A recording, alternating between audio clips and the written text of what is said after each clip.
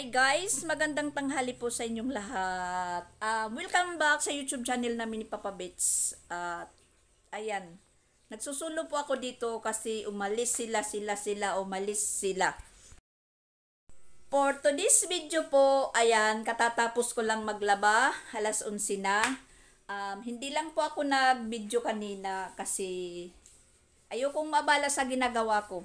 Tapos sila Papa Bits at si Regan, inakyat yung niyog dyan. Uh, kinuha yung ibang dahon at ibang bunga. Aw, lahat ng bunga kasi um, pag nahuhulog dyan po sa bubungan, nahuhulog, um, pag hating gabi na na tatiming nahuhulog, mahimbing na yung pagtulog namin. Um, nagugulat po kami. Akala namin inano na po kami um, dinidemolition kasi napakalakas yung ano, yung impact ng ano ng bunga ng niyog pag nahulog diyan sa bubungan.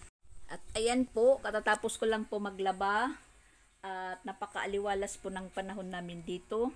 At yan, nandyan po sila, Bon at Shaira. Hindi ko sila pinapapasok pag pag-araw. Um, gabi ko na gabi ko na sila, sila pinapapasok dito pero hanggang dito lang po sila dito lang. Tapos yung ano, um, harang ko dyan, hinilalagay ko po dito. Para hindi po sila makapasok na dito sa hinihigaan namin.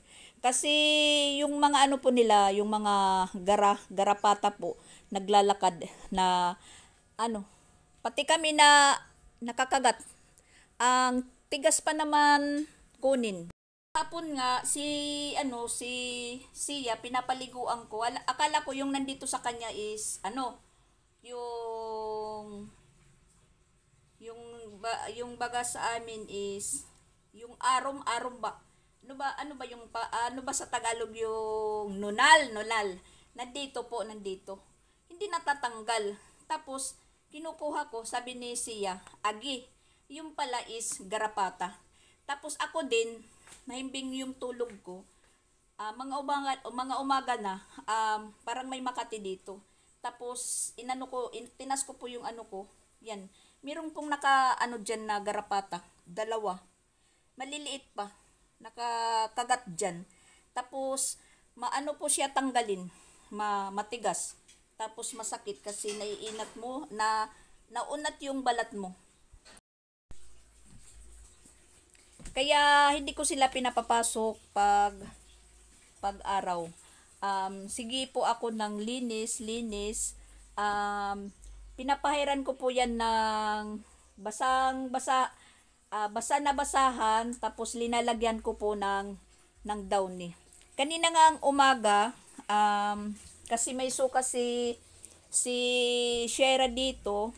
Kinuha ko yung basahan niya tapos pinunas uh, pinunas ko dito.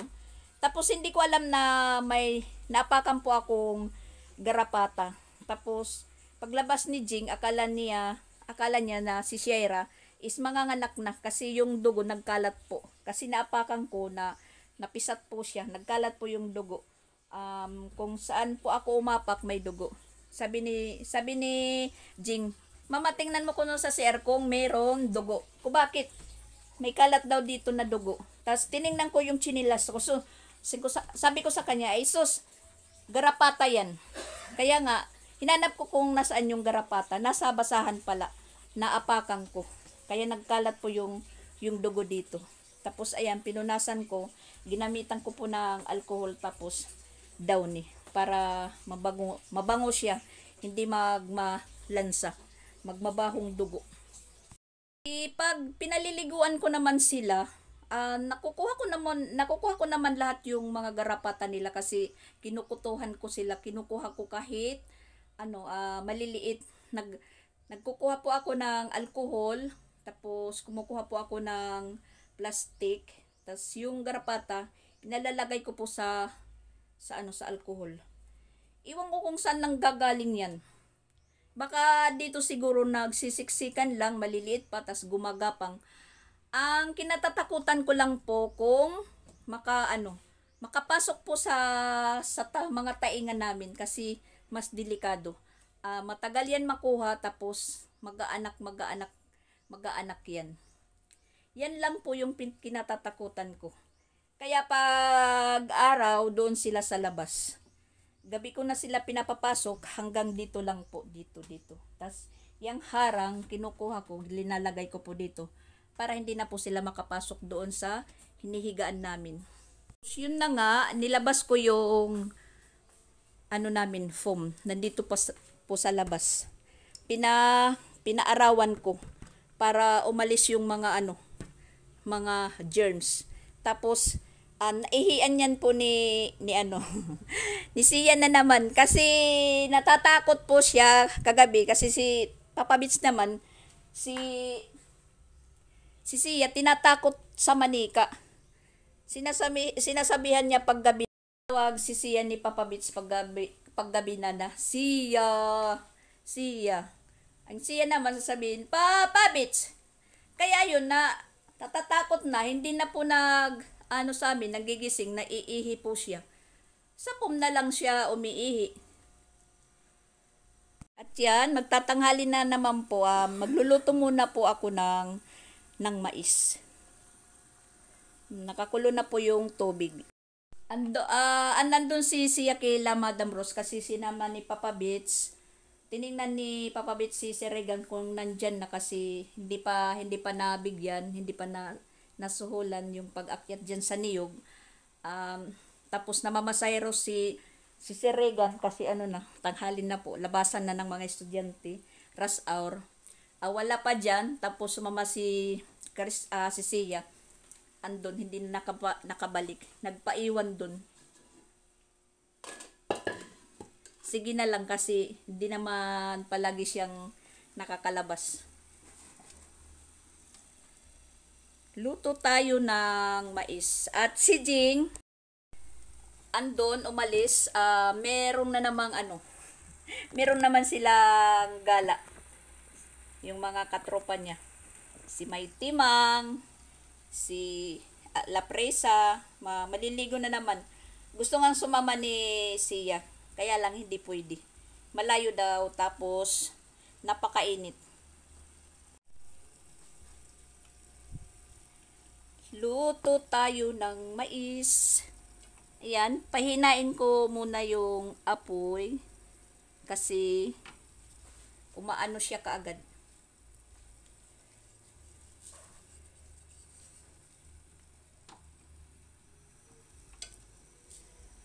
Meron pa naman kaming kanin na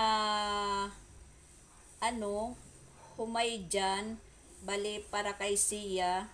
Ito para sa amin ni Papa Bits. Kasi kami lang naman tatlo dito. Tapos si Sansan at saka si Chrislyn. Holdi yung klase, may baon naman po sila. Kaya, luluto na lang po ako ng mais. hanggang mamayang gabi ito. Yung itim-itim kunin natin. Nasanay na lang po akong magluto ng mais.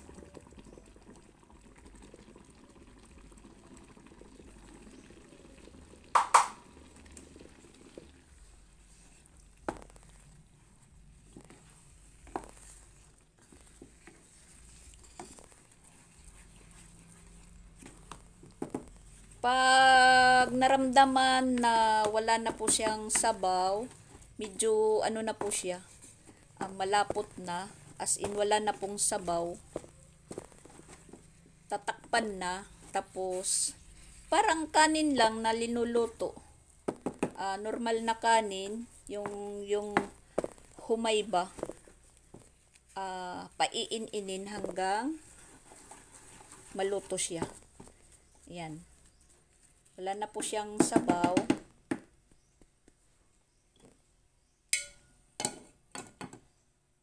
Ganyan lang. tas maliit lang yung apoy. Maliit lang. Pagpain-in lang po siya hanggang maluto. Yan lang. ma madali lang naman siyang lutuin. Pero pag hindi ka talaga pamarunong, as in mahirap, tapos pag hindi mo pa kontrolado yung tubig at saka yung yung ano yung mais na lulutuin is parang malulugaw tapos mahihilaw. Ah, si Madam Rose yung nagturo sa akin na magluto. Yung yung unang luto ko as in mano, ma, parang lugaw. Pero ngayon tansyado ko na. Tas masarap yung ano niya. Yung tutong. Kaya ah, sinasadya kong na patutungin siya. Kasi yung tutong niya is crispy.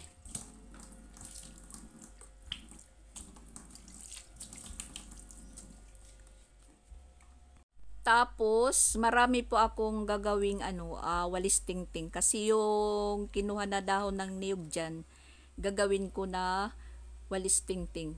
Ah, medyo ibibilad lang natin ng konti kasi mga hilaw pa. Um, pag ginawa yan na walis tingting kaagad na hilaw pa, um, malaki yung ano, parang lumiliit pa siya. Kaya, i-ano muna natin sa araw, mga ibilad, mga tatlo or dalawang araw na hanggat pwede na po siyang ah, gawing walis tingting.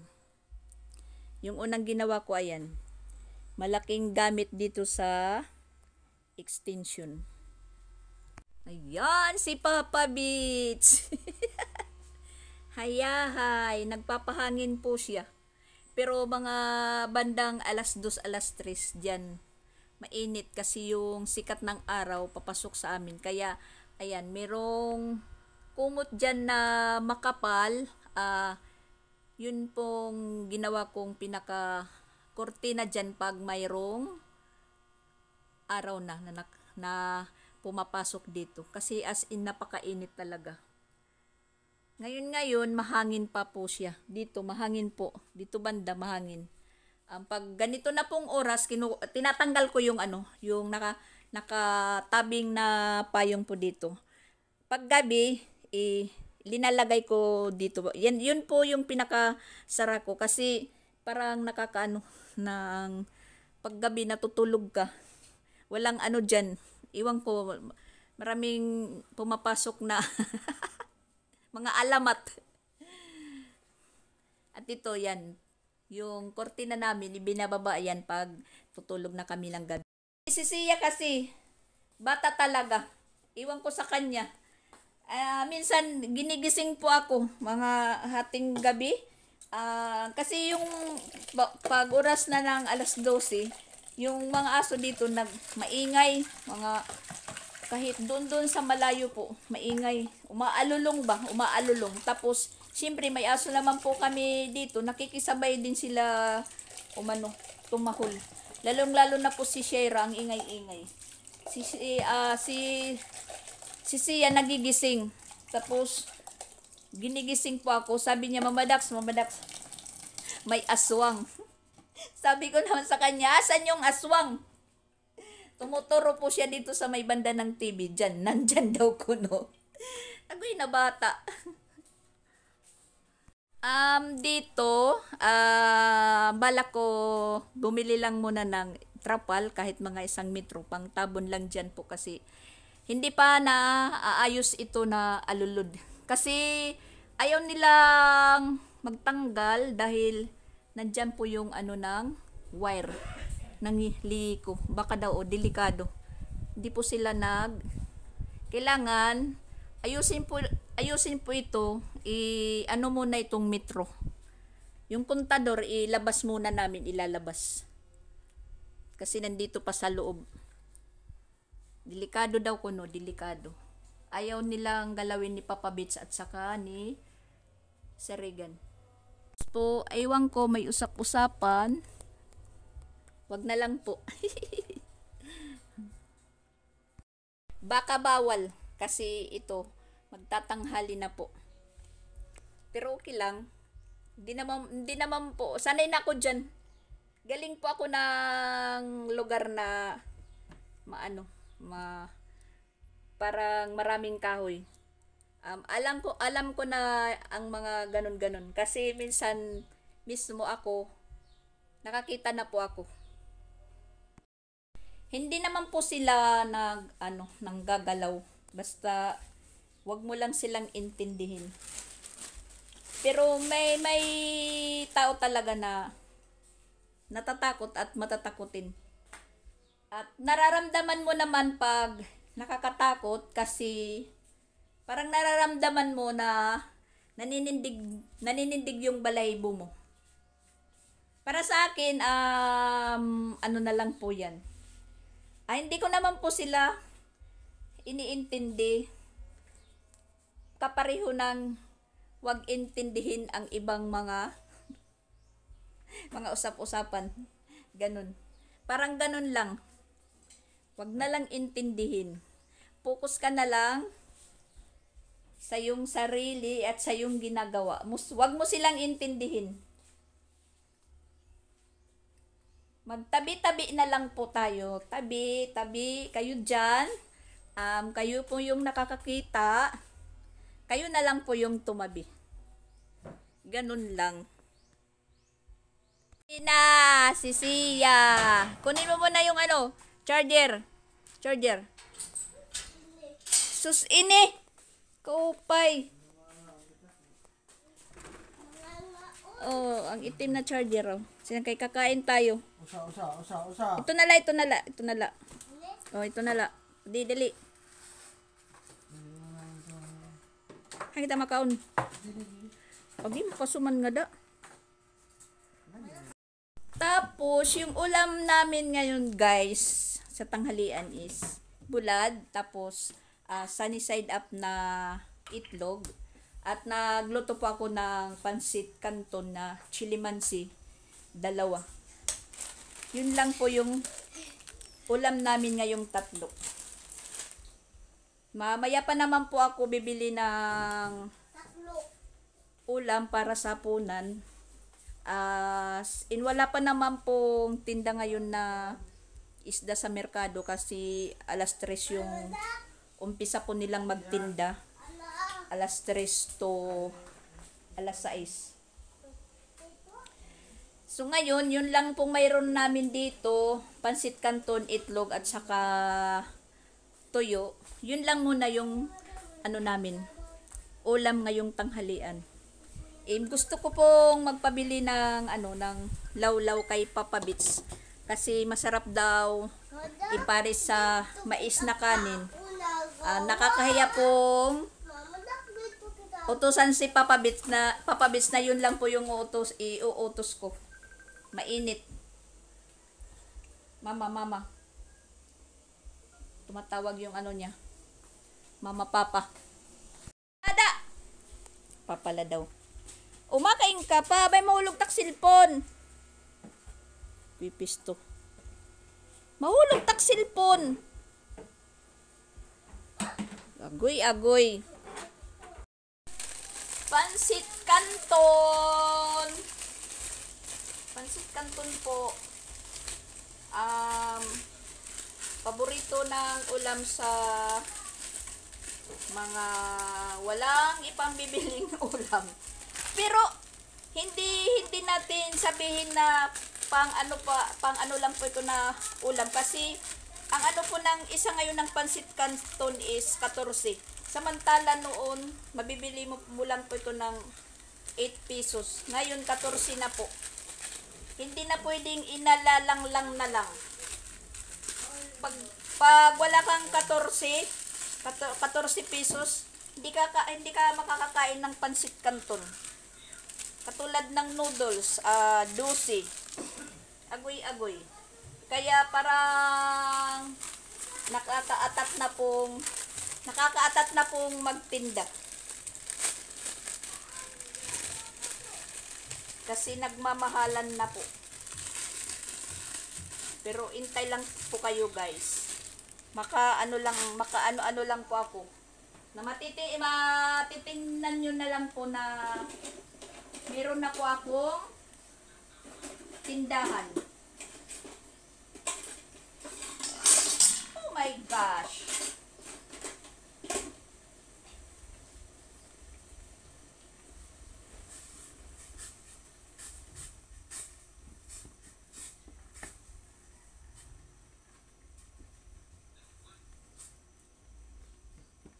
Hindi na po ito pwedeng ilang lang lang ang pansit kanton na ulam. Kasi mahirap na din bumili pag wala kang 14.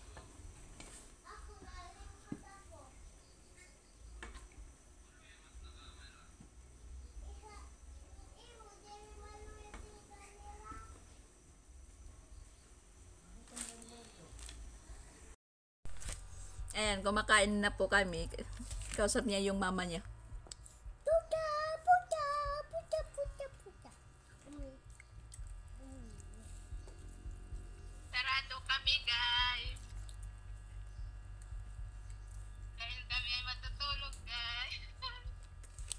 Ano, may tent?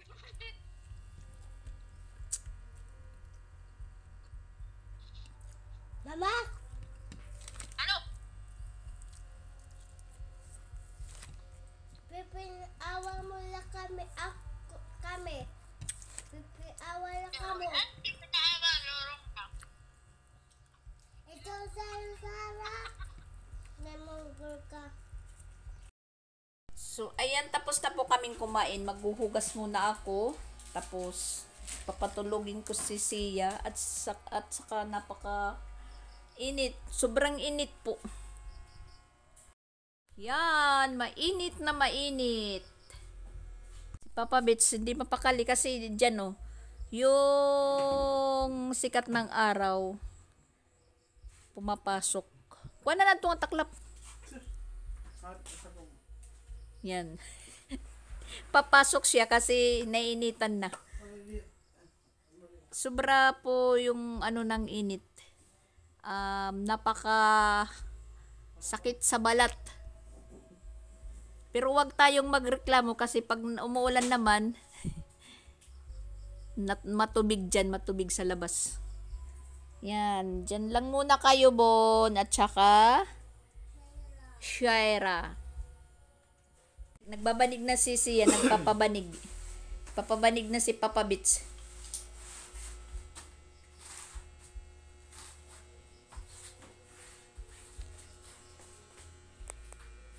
Sige. Para matulog kayo. Yan, matutulog na sila. Nakasiling, ah, cliff fan. Cliff fan lang po yung ano namin dito. Gamit. Tapos ako naman maghuhugas muna. Tapusin ko muna yung trabaho ko.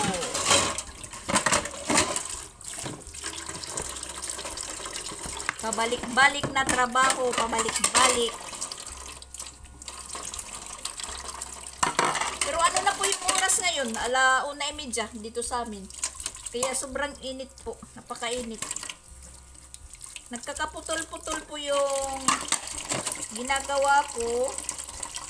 Kasi merong tumatawag, nakikipag-usap. Ah, yung mama ni Kwan, mama ni siya. At tapos ngayon, yung kausap ko si Ate Sixi. Kasi may nag-order po sa kanya. Mabuti na lang po si Ate Sixi. Maraming order ngayon. Merong nag-order po sa kanya na bali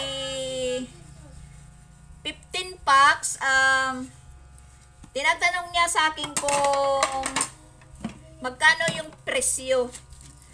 Um, sabi ko sa kanya, ikaw yung mag-ano, ah, bilangin mo kung makakasubra ka. Yung, bigay, yung binigay po niya, 1. 4-5, bali 4-5, may puto. Um, bali ano na po? Siyam ko, ah, ewan ko sa kanya kasi 15 packs. Pero yung nakita ko, um, siyam lang. Sabi ko sa, eh, sabi ko sa kanya kung sa'yo, kung nakaano ka, naka, kung baga sa atin, nakaganan siya, sige, go. Tapos sabi ko sa kanya, pagpatuloy mo yan. Kung sino naman po yung nakapag-subscribe kay Ate Sixi, tingnan nyo na lang po yung putahin niya ngayon. Um, isinin niya po sa akin. Pero nagpaturo po siya kung paano yung pagluto. Kahapon, um, humingi po siya ng recipe sa akin kung paano lutuin. Sabi ko sa kanya, kung magigisa ka, um, huwag kang gagamit po ng mantika. Um, kung halimbawa may karne, huwag gamitan ng mantika, unahin po yung karne igisa. Um, hintayin na lumabas po yung sariling mantika po niya. Tapos, kung ano naman po yung mga menu mo na linuluto, syempre, hindi, hindi maiwasan na walang sibuyas, bawang, toyo, mga, mga liquid seasoning, ganun, uh, paminta, paprika. Ah, binigay ko la, lahat sa kanya. Tapos, yung pag spaghetti po, yung tinanong niyo po, niyo, niyo, ah, tinanong niya po sa akin yung, paano daw ko no, ang pagluto ng masarap na spaghetti. Kasi alam naman po niya na the best akong magluto ng spaghetti. Um, yung linuto niya, beef steak, caldereta, ah, adobo. Yun, binigay po ko sa, eh, binigay ko kahapon po sa kanya. Ichinat ko po. Tapos ngayon, nakaluto na po siya. Magdi-deliver na, isinend niya po yung mga putahe po niya. Tapos meron po siyang cordon bleu. Ko kanya, ipagpatuloy mo, la, mo na lang yan sa pagluluto, sa pagpapa-order. Huwag ka na lang ma- umalis. Kasi balak po niyang mag-abroad. May iwan si Pinsoy na maliit, oh. katulad kay, kay Crislin. Siya, naiwan maliliit pa. Parang naisip ko na hindi mabuti na iwan yung mga anak na maliliit pa. Kasi ako nga hindi ko sila iniwanan na nung maliliit pa sila. Nagkaiwalay lang pa nagkaiwalay-walay lang po kami. Ngayon may mga asawa, anak na po sila. Yun lang. Kaya hanggang ngayon po parang tipon-tipon lang kami. Isang bahay tipon-tipon lang kami. Hindi kami nagkahiwa-hiwalay. Kahit may mga pa pamilya-pamilya na sila, yung meron lang bahay po na may asawa ay si, si Pix Vlog. Yun lang po. Pero malapit lang naman yung bahay ni, ni Pix Vlog. Kaya ganun. Kami lang po yung pamilya na parang hindi nagkakalayo.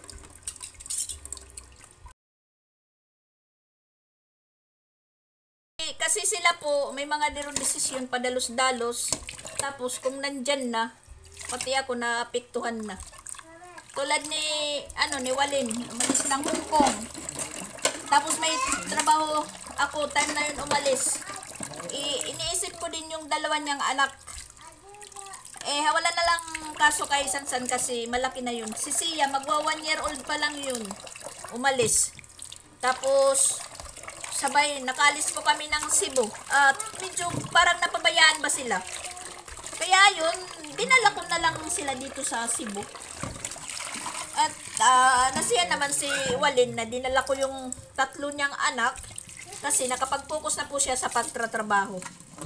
At silang dalawa na po ngayon, may trabaho na silang mag-asawa. Kasi parang naisip ko hindi maganda yung umaalis ng malayo tapos maliliit pa yung mga mga anak tapos um, maliliit pa tapos tatay lang po yung naiiwan hindi naman ibig sabihin na hindi hindi ano yung mga tatay pero may the best pa na mga tatay na nag-ano nag-aalaga sa sa mga anak pero parang ganun kasi ako hindi ko sila noon iniwanan na mga maliliit pa sinakripisyuhan ko po sila lahat. Kaya na, parang nagagalit pa ako sa kanila na iniiwanan yung mga anak nila na maliliit pa. Sana ba binabantayan. Pero, wala po tayong magagawa kasi trabaho naman po yung ano nila, pakay sa pagkakalayo nila. Pero parang kawawa talaga yung mga anak. Dapat magdesisyon muna, um, hindi yung padalos-dalos. Kagaya ngayon ni Ate Sixi, um, balak mag-abroad, balak. Tapos, ayan, si Pinsoy, maliit pa. Yung asawa niya, iwan. Oo, pag alis, ah, mabuti yung plano. Pagka tinagal-tagalan, yung mga plano, nasisira. Ang intendency or kahinatnan ng iba, nagkakahiwalay, nagkakagulo-gulo. Parang, parang wala, walang bisa yung mga pangarap. Kaya sabi ko kay Ate Siksi ngayon, sige, pagpatuloy mo na lang yan, yung negosyo mo, magpapa-order ka, oo, ah, nakakapagod, pero masasanay ka rin yan, pag makaluwag-luwag ka na, kung, kung kaya na, sabi ko sa kanya, kuha ka ng magiging helper mo. Yun, yun po yung sinabi ko sa kanya. Kaya tapos ayan, naka, na, na-deliver na po yung niluto niya. Tapos, um, papasok naman po siya ngayon sa, sa trabaho.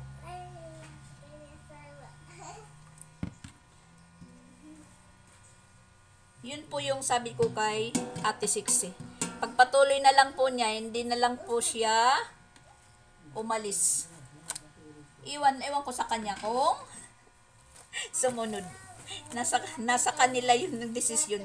Ang sa akin lang naman po, nagsuggest, nagsuggest po sa, sa kanya na pagpatuloy mo yan, wag ka na lang pong umalis. So, ayan po guys, bye-bye muna kasi sinasaway na po ako ni Sia. wag daw ko na akong maingi kasi natutulog sila. O sige, bye-bye! Bye-bye guys! Matutulog muna si Sia. Sia. Bye-bye oh. Si bye-bye guys. Thank you for watching. Maingay daw po ako.